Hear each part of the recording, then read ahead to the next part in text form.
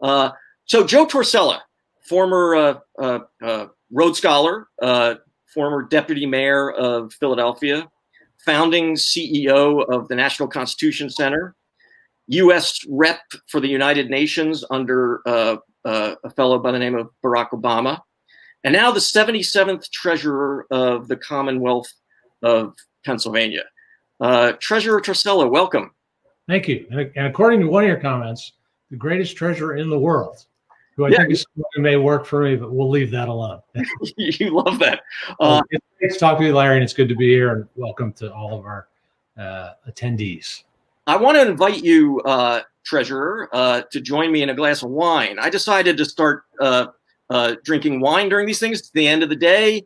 Uh, I've, you know, been home all day. Yeah, I think it's and so so. Well, this takes me by real surprise, but I just happen to have a glass here. Larry and I did arrange this in advance, folks. It's six o'clock and we're all at home. So uh, it seemed like a way of making this an even nicer event. You can Philadelphia Citizen Cocktail Hours going forward. Cheers. That's right. Cheers. Um, and uh, so let's begin. First of all, I see you. You're in your home library. Uh, what's uh, what's on the what's on the shelf behind you? Uh, well, we've got some biographies. We've got uh, Bowling Alone. We've got The Idiot's Guide to Fly Fishing. Uh, we've got uh, Henry Clay. We've got a business book. So it's a variety of choices. I, I, I, like that. I think that that that describes the, your breadth. Uh, the the the idiot's guide to uh, fly fishing and bowling alone, which we'll get to because I think that um, more than any uh, public servant on our uh, uh, stage, uh, you're a communitarian, and we can talk about what what that means. Uh, for for 15 years, 20 years, I've been hearing you talk about mm. the meaning of we the people. Uh, this this idea of a collective, and I I, I want to uh, uh, get to that, but but before we do, uh, since you're you shared from your bookcase, let me let me read to you a very an old description of you in in Buzz Bissinger's A Prayer for the City.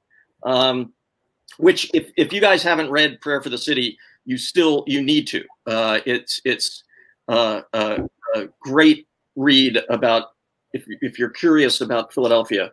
Um, this was uh, a young Joe Torsella was the deputy mayor for policy, I want to say, uh, in the Rendell administration, which the city was almost bankrupt. You're in these negotiations with the unions, uh, and young Joe Torsella sends a memo uh, to the mayor and the chief of staff, David Cohen. Uh, and it's it's. Yeah, way, I, I have this book. Should I be fact checking your quote? Or I'm not going to read from the memo, although the memo is. I'm going to read what Bissinger wrote. It was a fine memo, written with precision and thoughtfulness, and a strong trace of the good government piousness that Torsella, a true and earnest believer in the midst of crotchety wolves and coyotes, was known for, but it represented the ideals of government, a government that was proactive instead of reactive, and one that determined its own fate instead of waiting for the latest kick in the teeth. So it really didn't represent government at all. Uh, so outside of the the shot at the end there, um, uh, knowing I was going to talk to you, I went back and looked at this, and I thought, is that still Joe Torsella? Or do you do you recognize that that that description? And is that do you still try to uh, live that those precepts?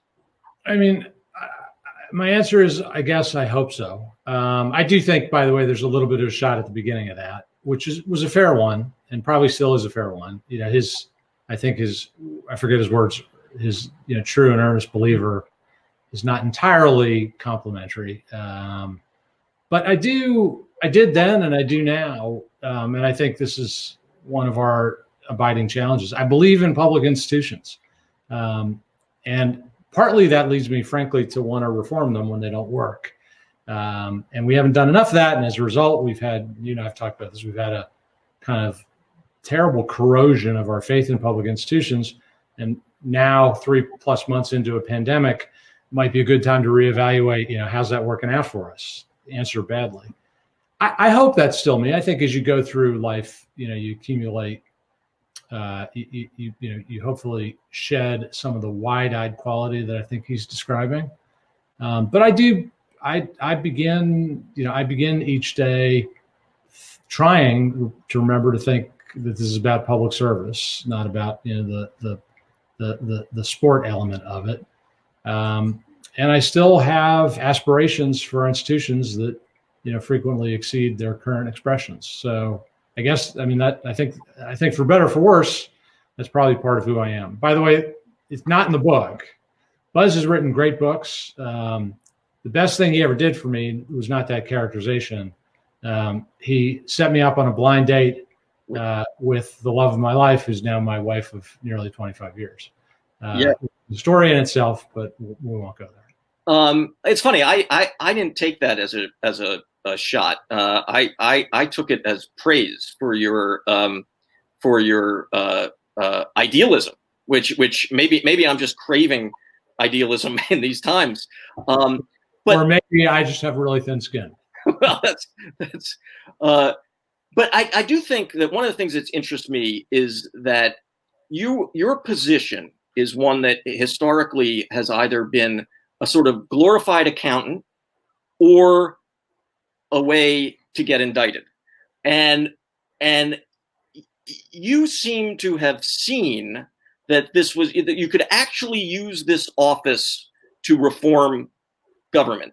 Uh, can you walk us through that and and and without get we'll get to the big reform which is which i think is the, the one of the most exciting things in pennsylvania maybe the country which is keystone scholars but before we get to that to like just this idea of using the treasury's office and and, and i think you're doing it a lot in terms of pandemic uh, right now yeah i actually i mean I, i'll talk for a minute about what we've done over the course of the pandemic but backing up slightly I, I think i've always tried to see opportunities in positions and places that other people had given up on. Um, and I think that's I think that's one of the themes of you know my my my the path of my career.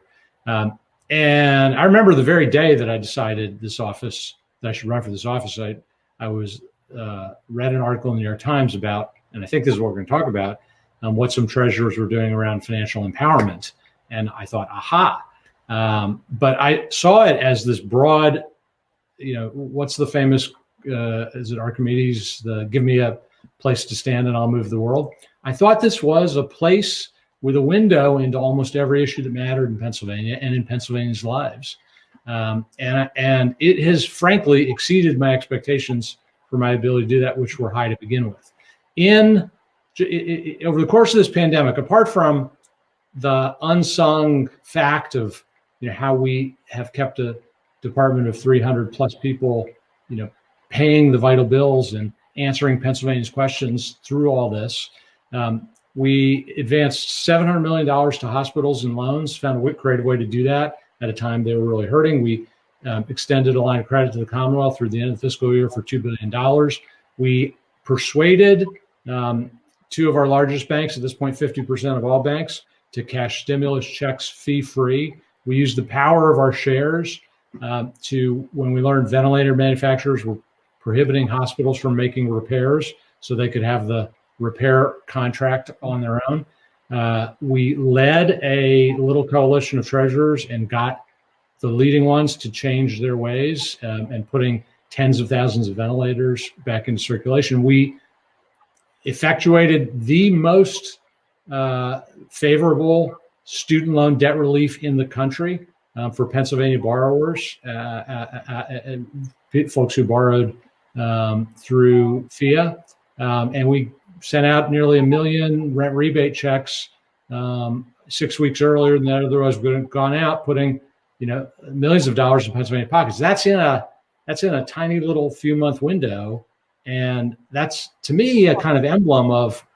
I think there is no bad job in public service, and if and if you think you have one, you should get out of public service. The, these the, these jobs have, you know, extraordinary impact on real Pennsylvanians or Philadelphians or Montgomery Countyans' lives. Um, and I, you know, we could we could spend ten of these sessions with me telling you how that's so, but it is. Well, and and if you agree uh, that inequality is the issue of our time, uh, it seems to me, and I think I wrote this when you were running on this issue, and it was very rare to see someone run for public office on an idea.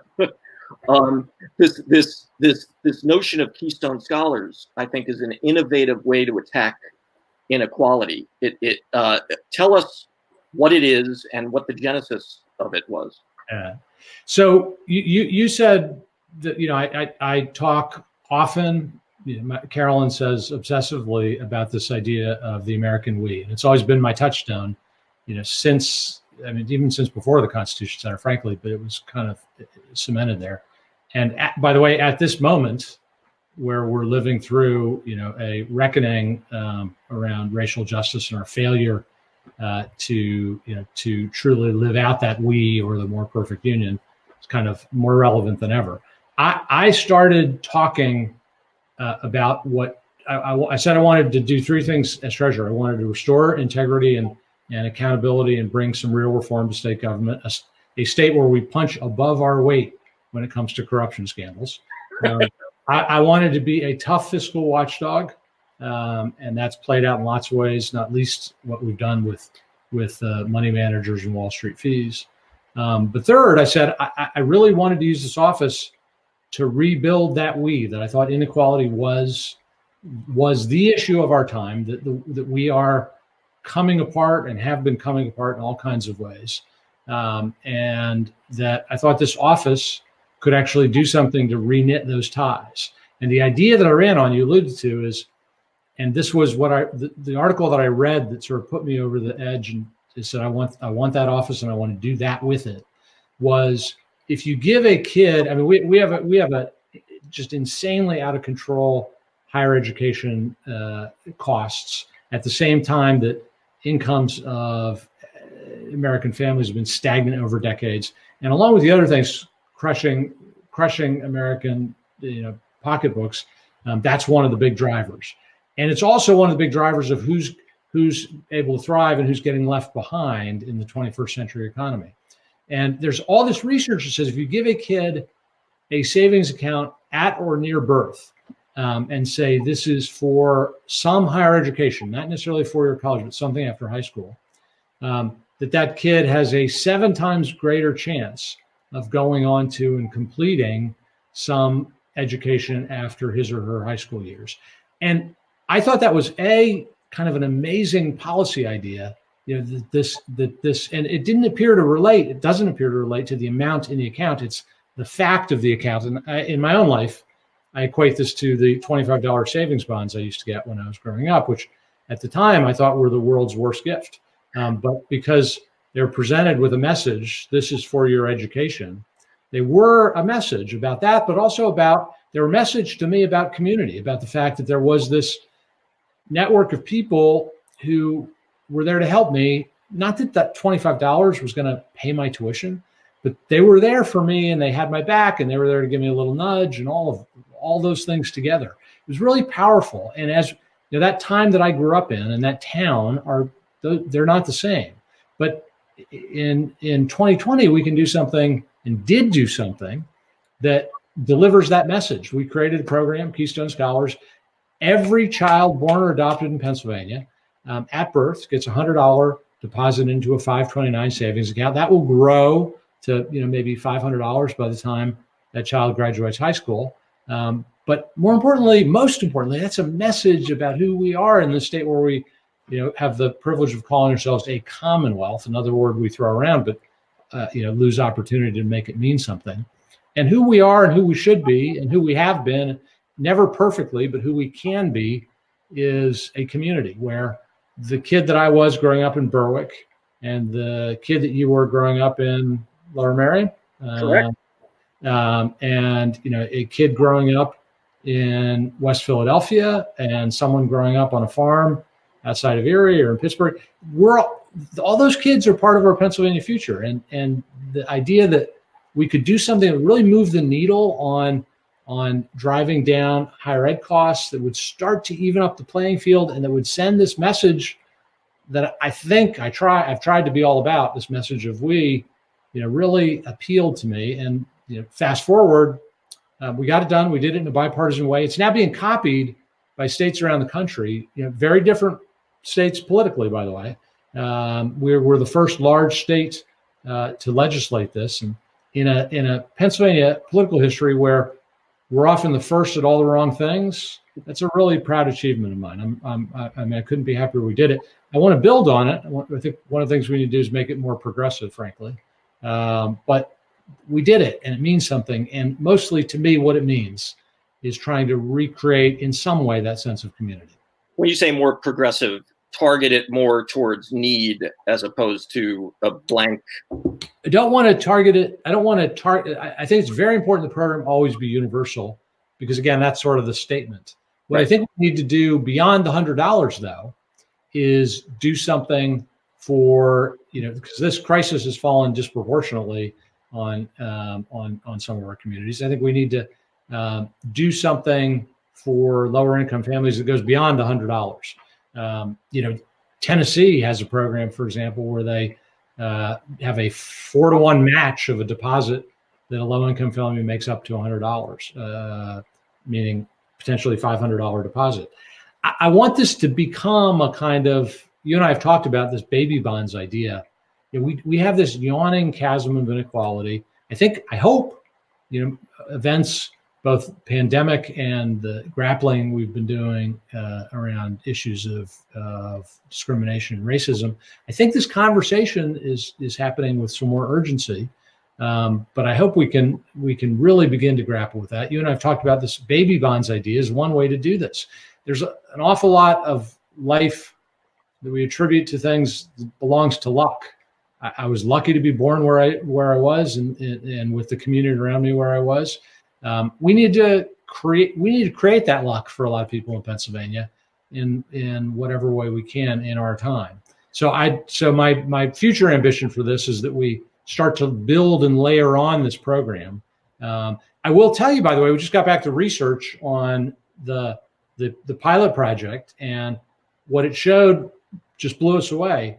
Um, it, it has raised the rate at which parents are opening their own 529 accounts for their own kids by a factor of two in every area and across every demographic, meaning low income, single parent, no college education. Oh, so that's new.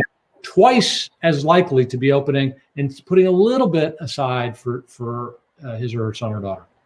Uh, and that's that's new, right? Because I I think I I don't think I've shared that with you before. Yeah, and and I, I think I remember research that showed that 529s were were sort of the province of the middle class and weren't reaching down. So that's interesting. That, that, that's what you know when you looked at the map of our 529 penetration, which is a great program by the way, and and especially with the crushing burden of student debt that is weighing down graduates now, um, is really important. But you looked at the map of where we were where it was being used, and it was being used in the places that need it the least.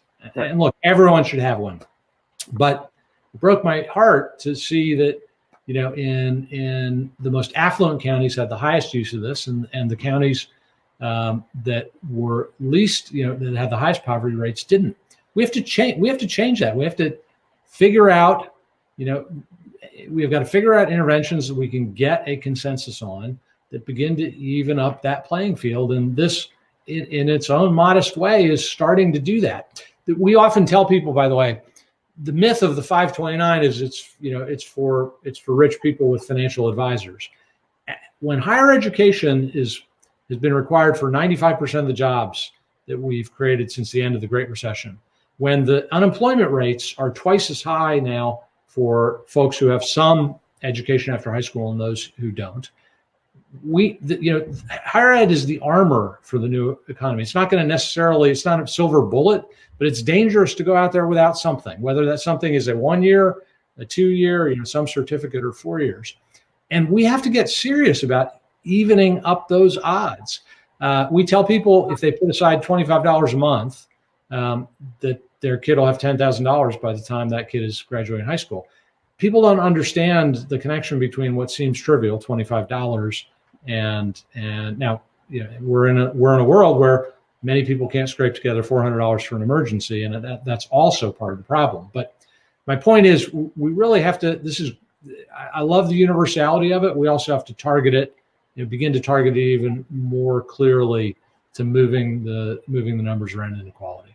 So, at the risk of like uh, uh, nerding out too much on this stuff, uh, you mentioned baby bonds, which I was a fan of in the '90s when Tony Blair did it in Britain. What what is it? What what and how does that differ from the pilot program you're doing? Well, I, you know, if you talk to some of the national es- experts on what we're doing, they will tell you it doesn't really differ. That, that in a way, what we've done is create a kind of baby bond around some form of post-secondary education. But baby bonds in its truest form is, you know, we're going to give you, we're going to give at birth to either to everyone or to, you know, to to low income families. We're going to give you kind of a stake in the economy. We're going to give you some money that will grow over time that can be used for you know whatever you want upon adulthood. Now, if you ask me if I could wave a wand and do that nationally, I would do that in a heartbeat. Um, but if you ask me what is the quickest way to do something like that with the mechanisms that exist and in a way that has a reasonable chance in a politically divided time of getting a consensus, because by the way, this was passed in a Harrisburg where both houses of legislature were under Republican control. Um, and it had a, you know, Senator Hughes from Philadelphia, Senator Gordner from Columbia County. Um, it had that kind of uh, representative, uh, representative uh, uh from you know, representative from the Republican side and the Democratic side. Um, if you, this has the ability to bring people together in a time when there's not a lot you can say that about. Um, so I would tell you this effectively is a, you know a, a, sort of a baby bond, and we ought to build on it and elaborate on it and have it become have it have it reach its full potential. I hope, by the way, someone is listening in a company or in a foundation um, who will hear this and will say, "Yeah, we want to for Philadelphia." Um, we want to do an add-on deposit for every low-income family in the city. We want to do an add-on deposit um, you know, for every family where the child gets enrolled in pre-K. We want to do. I, I, I, hope this becomes a platform, not just a fact of you know my three and a half years as treasurer. Yeah, you know, um, uh, I don't think you're any of the funds for this come out of the the the state budget, right? You've done this fully on uh, uh, foundation uh, we, we, did, we, did, it. We did the pilot on philanthropic uh, contributions, um, and we're doing the ongoing program on investment earnings um, that that are not in the in the state's general fund uh, in our in in one of the accounts that are for the purpose of higher education. Uh, but we are open for business in accepting philanthropic um, and charitable contributions. Um, I will note that for the last three years I've given I've, I've turned down my automatic pay increase and given it to this program.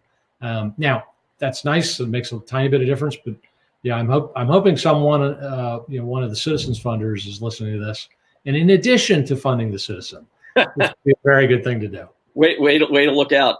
Um, you mentioned you mentioned uh, your uh, Wall Street interventions. Uh, what do you what do you mean by that? What what did you in what way did you stand up for the taxpayer of of Pennsylvania uh, against the Wall Street uh, titans? Well, two ways. One involves dollars, and the other involves you know results. Um, in the dollars way, as as somebody who yeah, I worked with Jack Bogle at the Constitution Center and um, for a while thought I knew better, but eventually came to the conclusion that a lot of what Wall Street peddles is high price nonsense. The idea that you can beat the market is a particular kind of snake oil um, that a lot of people have made a lot of money off. Uh, now, most many individual investors have come to realize that over time it keeps growing and growing. Um, but a lot of institutional investors, like you know, before I arrived, the Commonwealth, um, and still many pension funds, you know, pretend otherwise, even though we, I mean, I could bore you all night with the, with the, with the studies proving that they're wrong. Uh, but the first thing I did, and this went to both dollars and cents and my and my sense in a different way uh, of you know that Wall Street was picking our pocket, but also frankly the corruption. Um, first thing I did was say, you know, we're going to at Treasury uh, the 20 billion that we are responsible for ourselves. We're going to index the you know those funds. We're not going to pay for people to tell us falsely they can beat Wall Street, who, by the way, in the past often happened to be politically connected, and that had something to do with the corruption scandal. So I, I banned middlemen on my first hour, but then over the course of the first 18 months, switched to index investing. We've saved $700 million in doing that um, for taxpayers. And we, I think, have frankly shut the door on the possibility of some of the corruption we've seen in the past. I, I've been advocating, the governor's been advocating to do that more aggressively at our pension funds, which, as you know, have some, you know, I face some real trouble. And as a as the son of a pension fund beneficiary who always reminds me that's what she's buying gifts for her grandkids on. Um, it's it's it's something I care deeply about. One of the funds has made some real progress, and and the, and the fees are going down. The other, in my view, has not. It, in fact, it pays out more in fees to Wall Street in a given year. Um, in the last year we calculated then every member of that pension sends in in contributions in that year. That is a recipe for several things, but it is not a recipe for long run success or for taking care of those people who've given their life to public service. It is a recipe, frankly, for Wall Street continuing to pick our pockets. So the first thing has been to be vigilant and ever vigilant about fees. But secondly, we I'm the custodian of our investments. And they're not an abstraction. They're your money. They're my mom's money. They're every Pennsylvanian's. I mentioned Commonwealth. That's what they are. They're literally the Commonwealth of the Commonwealth. And I've used those to speak out when Pennsylvanians are getting hurt and when they're getting screwed. Um, in in the pandemic, we used our power as a shareholder to say to the ventilator companies who weren't letting hospitals uh, re- repair ventilator equipment, you know, we think you need to switch course, and some of them did. Um, we've used it uh, to uh, engage with companies who have a lot to answer for for the opioid epidemic um, that has really devastated Pennsylvania and its communities and families. And at a couple of them, we've succeeded in changing corporate governance. We've used them at Facebook, where which has such an outsized influence on our economy, to say, "Gee, given the you know the extensive um, mischief that, is, that, that, that you've presided over. The idea that you don't have an independent board chairman um, watching over you, Mark Zuckerberg, uh, you know, is, is bad governance. Every year we've gotten you know closer, and, and I think the numbers we've gotten are getting their attention. Um, we've used it when Donald Trump took us out of the Paris Climate Accord. We used the power of our shares to sign on to the "We're Still In" letter and says, no, actually, when it comes to Pennsylvania, we're we're still part of this. Um, I could kind of go on and there you know there, there we, we, don't there are thousands of ways we could do this that we, you know we don't we don't do everything but when something profoundly affects pennsylvania as i think all those things do you know opioids and covid and and, and uh, climate i'm going to use our resources to make our voice heard and to stand up for pennsylvanians when they're getting abused we, we the other thing we did that hasn't happened in decades is we actually led a class action when evidence came to us that Wall Street banks were manipulating the price of what are called agency bonds, Fannie Mae and Freddie Mac, which are invested in by a lot of public entities. Um, and we saw this evidence, and we we we took them to court. And a few weeks after that, one of the one of the banks, uh, you know, uh, started cooperating, and evidence came forward that what we were alleging was in fact true. There were chats that fixed the prices of these bonds. And it sounds innocent enough when you say, oh, it's a couple of basis points, you know, a fraction of a percentage point. Um, but on a large scale, that is literally ripping off taxpayers. We recovered $400 million for taxpayers around the country. Um, and so I'm to, yeah, it hasn't been me wildly popular, but I'm to keep doing it. Who was it that said uh, uh, a billion here, a billion there, and suddenly you're talking real money? I think uh, it, it, was it was some Washington. It was Everett Dirksen or some Everett Dirksen. I believe that's right. Um, and you mentioned Facebook. Uh, you and I have had conversations with Chris Hughes, uh, who was Zuckerberg's uh, uh, partner and roommate at at Harvard, who has come out for a uh, a a data tax that Facebook should be should be taxed on on on the on the fact that it has uh, uh, inured uh, a lot of bottom line success on our data, which I think is a fascinating uh, idea. Um, and let me just ask you, Larry, do you you have you have a board at the Philadelphia Citizen, right? Yes. Do you chair it? I do not chair it. Of course not, because anyone, I mean, everyone gets this basic idea of you know sort of checks and balances. Most companies get this basic idea, uh, but in this you know this corner of the tech world that's mushroomed, um, the idea that you've got Facebook, which has such potential and, and and real as it turns out, you know, control over so many aspects of our life, our economy, our democracy, uh, that there would not be the most elemental check and balance, you know, according to good corporate governance. Um, is that that those are the kind of issues we speak out on. We don't do it on everyone, but on the on the on the ones where we think we can make a difference, we do.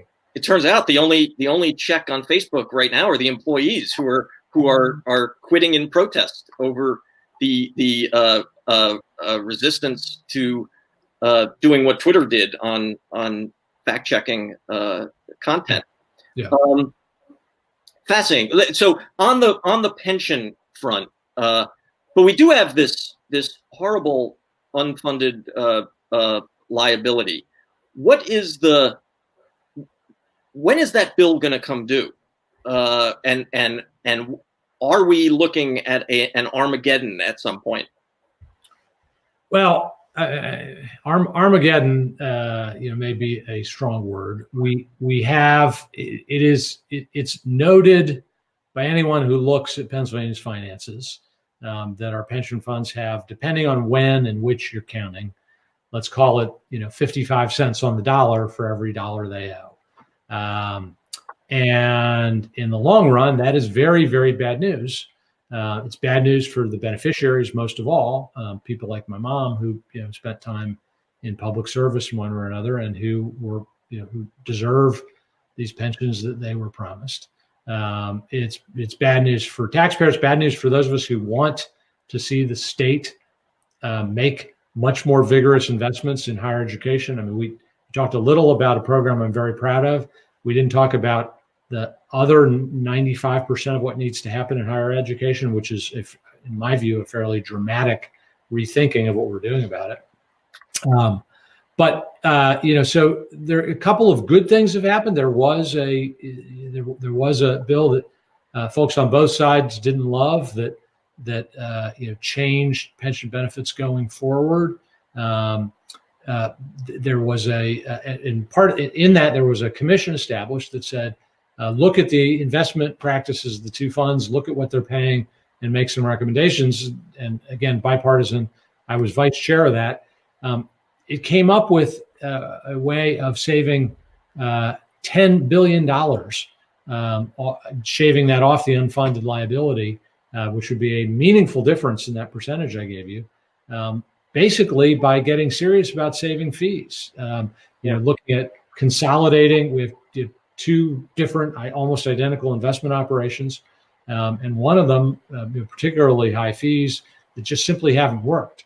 Um, so this is a work in progress. One, I think fund has been more responsive than the other. Uh, but if folks in Harrisburg take that report seriously, uh, it's literally a recipe for a way forward in this in this intractable problem. But look, is that number I gave you of fees paid out to Wall Street um, in one year? That number was actually more than a billion dollars for one pension fund. As long as that's the case, I mean, yeah, there's going to be some kind of slow motion, uh, you know, slow motion meltdown. And by the way, imagine the incentive effect of a billion dollars in fees from just one fund in one state. There is going to be an army of people here from Wall Street who will be pro the status quo. So this is a this sounds like a Ouija subject, but it, it really isn't. It goes to it goes to whether we're going to be able to invest in higher ed or in education, um, transportation in the future. It That's goes to whether people like my mom are going to be taken care of. And for folks listening on the line, it goes in a very concrete way to whether we want to keep using public dollars to enable the you know the, the this distorted inequality that we've seen. It's the root of so many of our troubles. Uh, so I, I hope more and more people pay attention to this issue. I think you're right. That that that's the real issue. There won't be an Armageddon. There will just be less and less left to invest in education and infrastructure because uh, we're already seeing it in Philadelphia. 16% of the city's budget is goes to just paying the unfunded uh, liability. Um, the, the other thing I should say here, though, this is important. For many years under governors of both parties, um, some of which you and I know, um, the state shorted its contribution to the pension fund and that has something to do with why we're in this in this mess now i also think that you know that that, that a that a a a, a uh, infatuation uh, with wall street snake oil has something to do with it too but the state has shorted the funds for too long for the past several years that's not been the case the state has been even in covid we've you know we've uh, the state budget makes the payment that's required and that is an absolute component of how we get out of this going forward. But to get to a place we can be happy about, you know, we really need to rein in those fees. And I want to keep those dollars in Pennsylvania pockets. We're going to uh, momentarily open us up to some questions. If anyone has a question for uh, Treasurer Torsella, you can write it in the ask a question box. Uh, but before we get to that, uh, Joe, um, you've had you've you've uh, worked for three sui generis leaders, I think uh, Ed Rendell, Barack Obama, and George Herbert Walker Bush. Uh, I can't think of anyone who might who who who uh, other than you who has uh, a window into uh, leadership skills. What lessons have you learned uh, from such disparate leaders? I think disparate disparate leaders and different lessons. Although I will tell you, I'm sort of thinking about this now for the first time. I, I actually think, in some way, they speak to a speak to a better place than we've been, and a time I hope we can get back to, uh, where leadership was about finding ways to get to meaningful common ground outcomes um, as opposed to sharpening our divisions and scoring points, um, which I think is the biggest contrast between two of those and their current successor in Washington. But um, but they were different. Um, from Ed Rendell, for whom I worked when I was uh, much younger, um, I, I, think my and, and, he's responsible for a, sort of a lot of my public career and uh, I think above all, what I learned is the power of persistence and determination. Um, I saw him as mayor fairly up close. I saw him at the Constitution Center. Um, I saw I started working for him when he was a 17 to one, rated 70 to one against um, odds of you know winning the nomination. People and, forget that Peter yeah, Hearn. Peter Hearn was the favorite. Correct.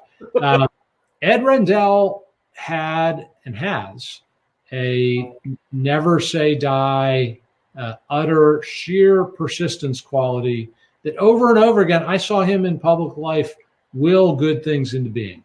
Um, you know, and and I remember all the times he pushed me, you know, where I was where I was wrong, uh, you know, at dark moments in the Constitution Center's history. Um, and I, I think some of that rubbed off. I, I, I mean, I, that's one of my sort of operating principles. From President Bush, whom I worked with at the Constitution Center, uh, who was an extraordinary man. Um, above all, the, the power of decency and kindness. Uh, it, you know, hit the the story about him is the, the, the the handwritten notes he used to send, which I think often gets retailed as a kind of a political. This was his political gimmick. He was. I used to say he was the most decent public figure I'd ever met. Um, and then I sort of revised that. He was simply among the two or three most decent people I've ever met in my life. Um, he found out some staffer at the Constitution Center he'd never met that her father had died and sent her a condolence note. Um, we had a board meeting in Texas in the 88 degree heat, uh, and he spent a good, you know, nine hours um, working for us. And all the board members and all the donors were gone and the only people left were the staff of the Constitution Center. And he stood out in the Texas heat, calling until everyone got a taxi to get back to the airport. Um, he heard at a board meeting a, a uh, a report on contributions. We told him when we got him on board, we told him didn't have to give any money, didn't have to do any of that. He heard a report on contributions, and I could see the little light go off in his head. And he scurried out of the boardroom, went up to his apartment, came back with his checkbook, and wrote a substantial check. And I said, Mr. President, we told you you didn't have to. He said, Well, I didn't understand. Said, It's not something I have to, it's something I want to do. I'm going to be, I'm not, you know, I'm, I, want, I want to lead by example. Just, I mean, the number of stories I can't, I mean, I, I don't even remember them all eh, with, with a kind of a just good humor and kindness, just an abiding kindness to people, uh, you know, uh, across every rank and station. It was really quite remarkable. It will always stay with me. I'd like to say that it's rubbed off. Um, people working with me might say it hasn't. I, I try to remember it, uh, and it will it will stick with me for the rest of my life. And from from President Obama, with whom I worked, I mean, as part of his administration, and I'm, I'm amazingly proud of that. Um, I did not work as closely as I did with the other two, but I actually saw things from sort of a 30,000 foot view. Uh, and from him, I think the, the, the importance of grace and patience and kind of a peaceful quality in the hurly burly of of politics and public affairs. He just exuded. I would see him come to the UN every year, a fairly hostile environment, and with all the slings and arrows, he just sort of exuded an American presence that was who I thought we were, who I hope will be again, um, who we haven't been in a while, but a kind of a, a, a dignity and a grace uh, that is who I imagine a president should be. Um, again, I, I don't think I've internalized that as much as I'd like to, but I try. So I, I can't think of any uh, uh, different personalities than than than uh, Ed Rendell and Barack Obama to be because Ed was all heart, right? I mean, that's one of the things you love about him is he's just driven by that big beating heart. Uh, and and the, you have the cool prof professorial uh, Obama, so it speaks to your your ability to uh, be a chameleon, I think, in some ways. Uh, let's go to uh, questions. We only have about 10 minutes left. Um, and I'll I'll I'll read one to you, and maybe Shabnam will get someone up on the up on the the the screen if they want to if anyone wants to come up. Um, here's a quick question that I'm that I'm not sure I understand, but you you probably will. Uh, do I have to elect for the debit card on the PUA site or will it automatically be mailed? so PUA is the program for what we call the gig economy. Um, the new and and Washington did some useful things, not enough yet, but in in terms of COVID recovery, and that is unemployment for people who don't have conventional jobs. It's a new program, um, and I urge everyone who thinks they may qualify to take advantage of it during this crisis. Um, short answer um, under current circumstances, you will be mailed uh, the debit card in the PUA program, um, in part, largely in part, because of a despicable fraud that's happening nationally and internationally. Uh, so we are issuing um, those payments through debit card. You do have to apply for PUA, uh, and uh, we will get you, Larry. We will have post on your website before uh, the time is over uh, a, an email for Treasury uh, if you have any particular questions. But the debit card will come to you automatically. That's great. Uh, we're joined by a citizen. Hi, Hi, Kelly. Is it? Yes, my name is Kelly. Can you hear me? Yes. I, yeah, yep. Hey, okay. Kelly. Hi. Hello. Uh, Kelly from Philadelphia. My question was about you sort of answered a little bit about um, the basis for your continued hope in the in public institutions living up to the ideals they espouse. And you talked a little bit about um, Ed Rendell and his sort of notion of persistence. Um, I'm wondering if there's, I guess, quite frankly, how you don't get disillusioned or discouraged. Like the persistence seems like a quality of just being stubborn, right? Like I'm just going to keep going for this thing regardless of of you know what's happening here. But internally, how do you not let that seep into you and become embittered? Kelly, what a great question. Um, I'm going to answer a couple of different a couple of different ways, um, and I'm going to start with the, the the total 100% truth, which is I do get disillusioned and I do get discouraged, um, and I I what I do though is I I go I get back to my point of hope. And you know, Larry was talking about the differences between Ed Rendell and George Bush and Barack Obama. And actually, part of Ed Rendell's determination was, as you called it, a kind of a stubbornness. Um, part of it, though, is what Barack Obama would have called hope, um, which is a you know, no matter how bad it gets, and it's gotten bad, and I think we're living through a moment where um, you know, where we're being honest in some ways about how how bad certain issues have gotten. But we kind of in, in our political DNA needs to be the belief that no matter how badly we've done, we can do better. And in my own life, um, I have days. In fact, I won't give you the details. I had one before this call where something where I've been working, you know, working on pushing a boulder up a hill, and it rolled back down over top of me. Um, and what's going to happen is I'm going to, you know, I'm going to go downstairs, probably another glass of wine, kids.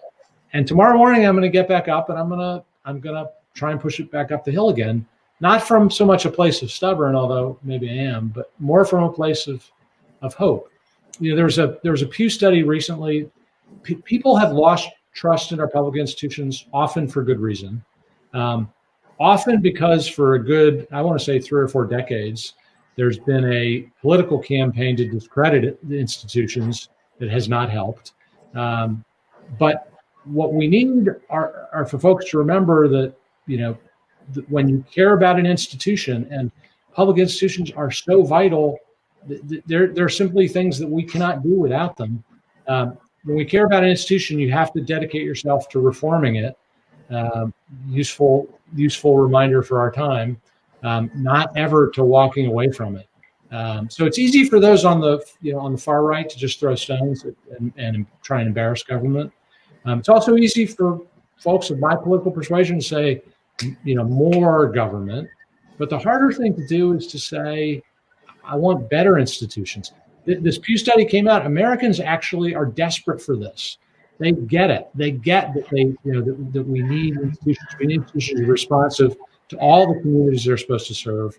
Um, we just need leaders to step up and remember that kind of hopefulness and combine it with the Ed Rendell determination to say, we're not going to rest until they stop failing us. I hope that answered. Thank you. Yes, yes. I mean, I'm, I'm sorry. I know we're not, not supposed to answer follow-ups, but I'm, uh, do you see a difference between caring for the institution versus caring for the people it's meant to serve? So you mentioned like, you know, your commitment to the values of the institution being is that at odds with caring for the, the people or need oh, I, I think sometimes it can be. I think I think you need to care about public institutions because they are supposed to serve us. Um, so you you know there are there are public institutions um, that have not been well served by their desire uh, you know, to avoid change, um, and a lot of what Larry talked about. A lot of my career has been about pushing change in places that didn't always welcome it. But and I've been accused. I mean, but I come to that because I believe in the purposes of those places. Um, so, and I think when that's true, you've got to hold them to a higher standard, not a lesser one. You know, because I care about government means I have to be harder on it, not easier on it. That's that's sort of you know my, my take on things because this is all about to go back where we started it's all about we. I mean it's all about these institutions are supposed to be serving us. And when they fail in serving us or some part of us um, it is time you know we have to rededicate ourselves to reshaping them into what they're supposed to be. Thank you very much thank, thank you so much kelly you know uh, joe you you said something that that harkened back to I'm going to date myself here to Gary Hart mm-hmm. because you said you said it's not more government or less government, it's better government, which is uh, which which was his rallying cry in 1984. Uh, well, 1987 was when he was the heir apparent, and and uh, it occurs to me that that's that's the sort of reform-minded outlook, a non-ideological reform-minded outlook that you're championing? Well, look, there there are going to be ideological. There are going to be issues where we, you know, where, where we can't agree. But I think too much of our conversation can quickly devolve into more versus less. Now, and by the way, on that question, I think we have underinvested dramatically in all kinds of public needs. But if the conversation is that, we're doomed to, you know, be in our corners uh, and be it at, at, be it a sort of stalemate in America for a long time. The conversation needs to also be um, how do we make things work? Um, look, I could have said to you, I, I want to go to Harrisburg and I want to, you know, I want there to be a tax funded investment in universal kid savings accounts. And we'd be here today and be telling you about my wonderful idea that has not been enacted. right. But but that's not what I'm about. And when it comes to thinking about government, I, I particularly think because going back to Kelly's question, I think because if we go back to you know many decades ago, I think there's been in some ways a deliberate effort to try and you know, discredit government as a tool for solving problems, so that we eh, so that we end up saying, well, we can't actually make a dent in in these inequalities. Um, and I think that's been sort of really pernicious. But I think when we, when those of us who believe in government, don't don't make our give ourselves the task of holding it accountable and proving to taxpayers that it can do good and useful and, and efficient things, then we're aiding the people who really want you know government to go away and for everyone to fend for themselves. Um, so I, I come at this from the time when I was at City Hall is if you if you care about an institution and you care about the purposes of an institution, you have to hold it to a you know what sometimes a tough love standard.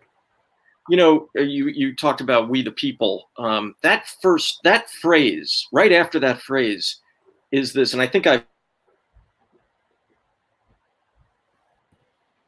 Hey, Treasurer Torsella. Hi, everyone. This is Shadman with the Philadelphia Citizen. It looks like um, we just lost Larry. Something must have happened with his uh, internet connection. But um, uh, Treasurer Torsella, I, would invite you to, you know, uh, finish the statement that you were talking about with Larry and, and offer some uh, closing remarks to the event. Thank you so much for, um, you know, having this conversation today. And I found it great, and I, and I can tell from the comments um, that a lot of people also found it very engaging and are excited about your leadership. So thank you. Sure. I guess I will. Um, uh, I mean, thank you everyone who's on. This is this has been uh, interesting, and it's it actually goes to the sort of idea we're talking about uh, about community, especially in this time. It's one. It's it's kind of wonderful to find new ways to connect and new ways to actually use technology to do that, as opposed to isolate us. Um, but what Larry was talking about, I've always believed that, that those are the three most important words in all of uh, political history and in all of American history. Um, and I think we are living through a time that is asking us to see clearly the ways in which we failed those words, um, as we have done repeatedly in, through our history. Uh, but if we use that phrase, we the people, as kind of our touchstone, um, and ask whether something builds us into more of a community or separates us, um, uh, it will be the kind of north star and has been for me in my kind of political thinking of where we go. In Pennsylvania, we have a different way of referring to it. We call it a commonwealth. Um, but this idea that we are all in this together, um, that there is no one who should be left behind, that there's no one we can afford to leave behind, um, that we can't tolerate um, you know, for any period of time for the kinds of inequalities that have um, that, that we've allowed to persist. If we use that as our kind of essential political ideal, I think we'll get back to the right place and go back to Kelly's question. Um, that's what gives me hope, and I hope that's what um, gives some of you hope. And I hope that that, um, however we express it, is what animates all of our public service. So I'm going to just end by thanking you for the opportunity. I've enjoyed it a lot. Look forward to coming back sometime.